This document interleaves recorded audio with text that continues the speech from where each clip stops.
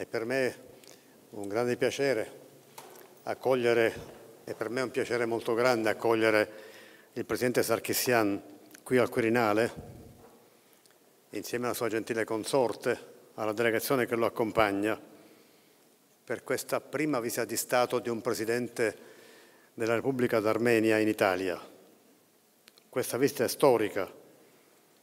viene, anche, viene compiuta ed è un ulteriore significato nell'anno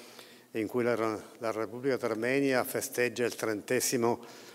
anniversario dell'indipendenza e anche per questo rinnovo,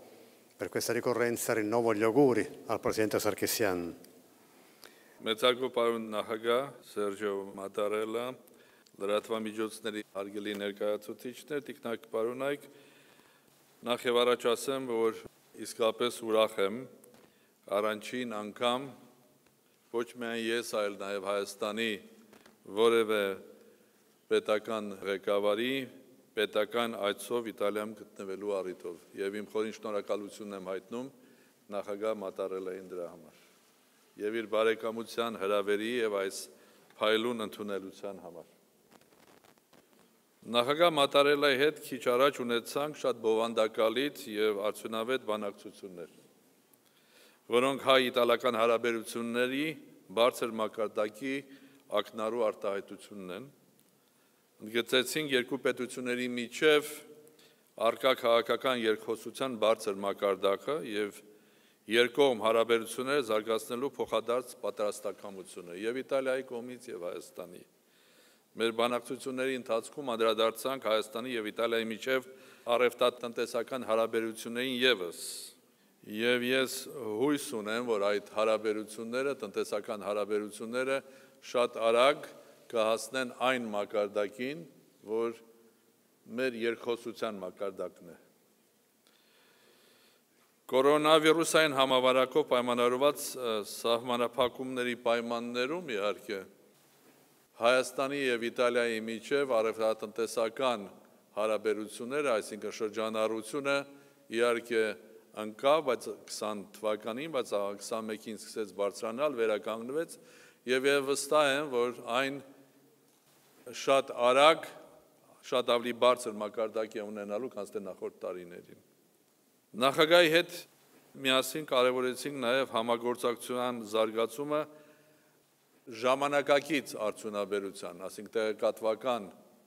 տեխնոլոգիաների ոլորտում, արհեստական բանականության,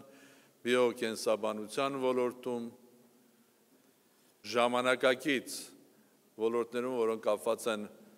մթերքի ուտելիքի անվտանգության հետ, ժամանակակից 21-րդ դարի համապատասխան կոմունիկացիոն կամ կապի համակարգերի հետ։ Իհարկե քննարկեցինք այն անհրաժեշտ փոփոխությունները, որոնց արդյունքում ներդրում կարող է բերվել աջակցելու կլիմայական վտանգավոր փոփոխությունների ընթացքը կանգնեցնել։ Անդրադարձանք նաև գիտատեխնիկական եւ տեխնոլոգիական ոլորտների զարգացման ուղղությամբ համագործակցության հնարավորություններին Մեծարգո պարոն նախագահի ներկայացրեցի նախագահական Atom Advanced Tomorrow նախաձեռնության շրջանակում իտալական ընկերությունների հետ համատեղ նախագծերի իրականացման հնարավորությունները եւ ուղղությունները։ Իհարկե շատ կարևորում ենք երկկողմանի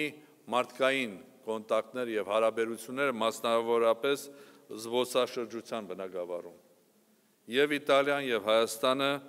իրար ցուցադրելու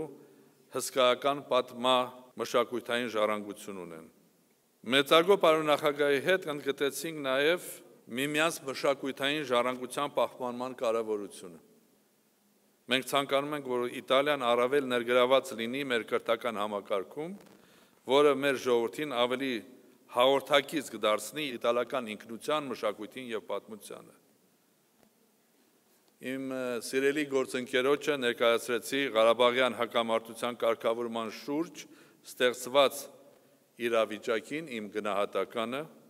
վերահաստատելով Հայաստանի պատրաստակամությունը ԵՀԿ Մինսկի խմբի համանախագահների միջնորդությամբ շարունակել աշխատանքները հակամարտության խաղաղ կարգավորման ուղղությամբ։ Այս առումով արժևորեցինք միմյանց համար զգայուն հարցերի նկատմամբ հավասարակշռված դիրքորոշումների եւ մոտեցումների պահպանման կարեւորությունը։ Մեծապես գնահատում ենք Իտալիայի կառավարության պատրաստակամությունը շարունակելու Ռոքեմ ծրագրին աջակցությանը եւ այդ ծրագրի միջոցով նպաստելու պատմամշակութային հուշարձանների պահպանությանը եւ Հայաստանում եւ այլուր։ Հայաստանը շնորհակալ է բարեկամ Իտալիային մարդու իրավունքների հարցում նրբազգացության դրսևորման համար։ Բարձր են գնահատում մարտի 2-ին Իտալիայի խորհրդարանի կողմից ընդունված բանաձևը, որով կոչ է արվում ազատ արձակել հայ ռազմագերիներին։ Ողջունում ենք նաև Իտալիայի մոտ 50 շրջանային եւ քաղաքային խորհուրդների կողմից ընդունված փաստաթղթերը ի պաշտպանություն Արցախի եւ նրա ժողովրդի։ Կարևորում ենք իհարկե, պարոն նախագահ, Հրադադարի հաստատումից հետո իտալացի մասնագետների առաքելության մասնակցությունը հայկական պատմամշակութային ժառանգության պահպանման գործընթացին, ինչպես նաև նրանց անմիջական համագործակցությանը ՅՈՒՆԵՍԿՕ-ի ծրագրերին։ Մեր ամուր համագործակցության եւ բարեկամության լավագույն օրինակներից են Հայաստանի եւ Իտալիայի համատեղ ջանքերը հանուն խաղաղության եւ անվտանգության Լիբանանում ՄԱԿ-ի ժամանակավոր ուժերի գլխավոր հրամանատրության շրջանակներում։ Իսրտե շնորհակալություն եմ հայտնում Իտալիայի կառավարության որոշման համար, պարոն նախագահ, համավարակի այս բարդ փուլում Հայաստանին բազմաթիվ պատվաստանյութերի տրամադրելու համար։ Հայաստանը բարձր գնահատում ԵՄ-ի հետ իրականացվող բազմակողմանի համագործակցությունը այնպիսի ոլորտներում, ինչպիսիք են ժողովրդավարությունը, մարդու իրավունքները, հիմնարար ազատությունների պաշտպանությունը, կայուն զարգացման եւ արդյունավետ կառավարման համատեղ ծրագրեր։ Համոզված եմ, որ այդ ապագայի տեսլականով Իտալիայի եւ Հայաստանի մեջ ստեղծված երկխոսությունը, համագործակցությունը կշարունակվեն եւ իմ այս այցելությունը ոչ միայն կլինի առաջին պատմական պետական այցելությունը, այլ հիմք կդառնա Հայաստանի եւ Իտալիայի միջև ավելի սերտ, ավելի խորը ավելի ջերմ հարաբերությունների եկող տասնամյակներում։ Եվ ամփոփելով խոսքս ուզում եմ եւս մեկ անգամ շնորհակալություն հայտնել Իտալիայի իմ թանկագին բարեկամ եւ բացառիկ պետական գործիչ միջազգային բացր հեղինակություն վայելող նախագահ Մատարելային հայկական պատվիրակությանը ցուցաբերած ջերմ ընդունելության համար եւ վստահեցնել ձեզ եւ վերահաստատել իմ պատրաստակամությունը որպես Հայաստանի Հանրապետության նախագահ շարունակել ջանքերը Հայաստանի եւ Իտալիայի միջև համագործակցության ընդլայնման ուղղությամբ բոլոր ուղղություններով։ Շնորհակալ եմ։